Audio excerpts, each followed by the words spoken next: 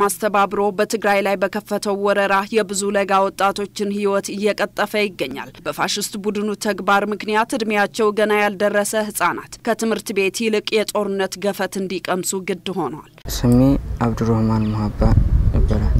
የመጣሁት ከደቡብ ወሎ ዞን ደሴ ነው። እድሜ 16 በየጊዜው የተለያዩ የውሸት ፕሮፓጋንዳዎችን እየፈበረከ ወደ ጦር ግንባር እንዲዘምቱ ያደረጋቸው ወጣቶች ስለ ጦርነቱ እውቀት የሌላቸውና የእኛ የሚሉትን ህዝብ ለምን እየወጉ እንዳሉ በውል ያልተገነዘቡ መሆናቸው ቢገልጹም ከውጭ ኃይሎች ጋር ተባብሮ አንድን ህዝብ ለማጥፋት እየተደረገ ባለው ደም አፋሳሽ ጦርነት ላይ ግን በጥቁር ታሪኩ አሻራቸውን አኑረዋል። እኔ አሁን የብሔር ጉዳይ አይደለም ያመጣኝ፣ የብሔር ጉዳይ ሳይሆን የስራ ጉዳይ ነው።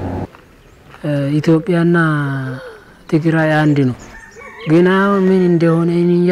ከጅምሩ ኢትዮጵያውያን በዘር ፍጅት ውስጥ አስገብቶና ደም አቃብቶ የስልጣን ወንበሩ ለማስቀጠል የቋመጠው ፋሽስት ቡድኑ ሀገሪቱ የምትቆምበት መሰረት አሳጥቶ የህዝቦች እልቂትን መርጧል። በፕሮፓጋንዳውና የውሸት ትርክቱ ተሳለው ወደ ጦር ግንባር የዘመቱ ወጣቶችም እድለኛ ሆነው ህይወታቸው ቢያተርፉም የብዙ ህይወት እየበላ ያለው ጦርነት ምስል ባይምሯቸው አስቀርተው ከረፈደ ቢሆንም እውነቱን አረጋገጡ። እዛ አብረን የመጣን ከአንድ አካባቢ ነበር ተመቶብኛል። እዛው ጎኔ እሱ እዛው ቀርቷል። ከዛ እሱ ሲመታ ሳይ የእሱን አንስቼ እንትን ስል እኔ እጄን ተመታ። እሱን ወደ ኋላ ሳወጣ ከዛ ወደዚህ ስንመታ እሱን አውጥቼ ከዛ ውስጡ ያለን ነገር እንትን ብዬ አስረክቤ እኔ በዛው ቀጠልኩኝ። ከዛ ማዶ ላይ ስናያቸው ሀርን እነሱ ምንም አላሉንም። ከዛ በኋላ መሳሪያ ከያዛችሁ ወደታች አድርጓሉን አልያዝንማን ገባን። ከዛ ወሰዱን። ወስደውን መኪና መስመር ስንደርስ መኪና መጡ፣ ይዘውን መጡ። እጅ ከሰጡ ይደፍራሉ፣ ለሰባት ሆነው ይደፍራሉ። ከዛ ደፍሮ አርደው ይጥላሉ።